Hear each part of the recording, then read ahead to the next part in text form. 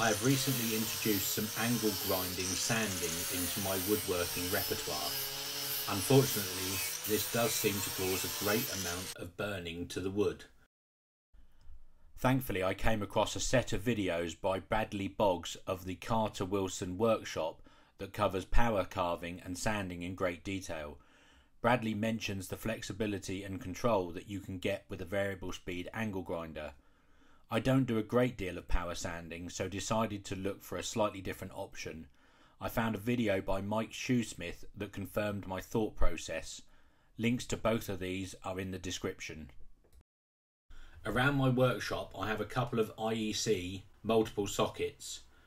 Most of my woodworking gear have IEC plugs so I needed something that would sit in line with these. Thankfully I always keep a few electrical bits lying around the workshop, one of which was a 240 volt dimmer switch. Here's a quick back of the envelope sketch of the setup.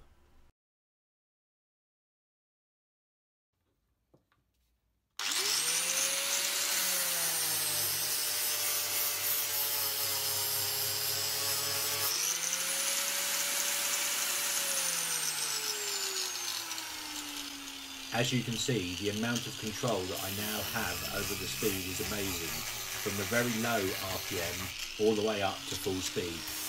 I can now sand to my heart's content without worrying about burning the work.